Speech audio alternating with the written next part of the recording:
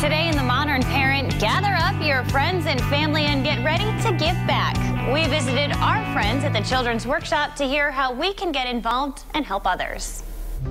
It's time to get out and give back with the whole family. We want them to get involved in the community. We want them to be giving back. We want them to know that it's very simple. And it doesn't have to be a grand, elaborate um, event or task that you have to do. That giving back to the community can be very small and very effective and can be done by one child at a time. There are plenty of benefits that come from volunteering as well. What happens is it builds their self-esteem. It makes them feel good about themselves. It actually incorporates them and involves them and engages them into a community, which then in turn allows for them to build this wonderful support network that's kind of outside their family. And the more people that they have involved in their life, the more successful they will be. Plus, when you do good, it makes you feel good. If they know that something that they did can affect change in a positive direction, that makes them feel good too. Take a look around. Could your neighborhood use a little boost? There's a lot of community areas that may be kind of left behind or not well taken care of.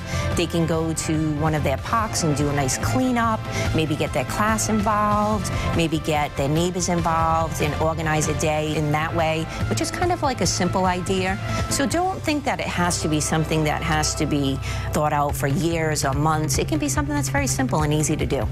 The Children's Workshop has opportunities that your family can take part in. We do a lot of community involvement. So right now, one of the things that we're working on is the Jimmy Fund, um, and it affects children and their families, so that's why we chose it. And we have our kids participate in a coin drive. And then we also do a fundraiser that happens every year around this time, and it's called Comedy for Communities. And what we do is we have this fun community event where we try to get community members to come. We try to get our families to get involved, our kids too. We have some laughs, and we raise a lot of money for families families in need.